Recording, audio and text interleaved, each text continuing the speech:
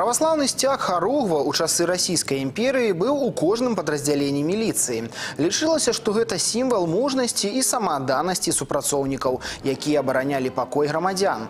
Зараз традыцыя аднаўляецца. Харугвы пачынаюць з'яўляцца ва многіх сілавых ведомствах Беларусі. І вось урачысты момант. Епіскап гомельскі і жлобінскі Сцяфан перадае харугу з выявай Георгія Победоносца начальніку Дзяржаўтаінспекцыі в области Игору Макушенко. Я надеюсь, что такая вот добрая традиция всех родов войск, эти хоругви будут. Мы уже не первые передаем хоругвь вот, э, разным родам войск нашим, а сегодня, слава богу, мы имеем такую возможность передать нашему управлению ГАИ Супрацоўніцтва паміж гомельскай епархіяй і дзяржаўтаінспекцыяй мае даўнія цесныя сувязі.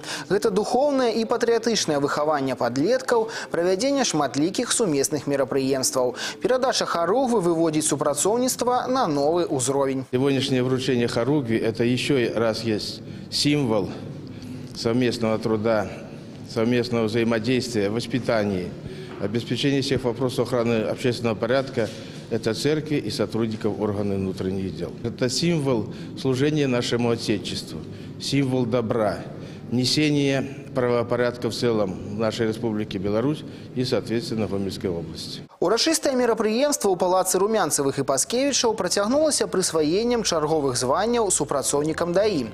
Таксама за плённую шматгадовую працу ветэранаў органаў унутраных спраў узнагародзілі памятнымі падарункамі. Дмітрий Котаў, Сергей Лукашук, тэлерадыёкампанія Гомель.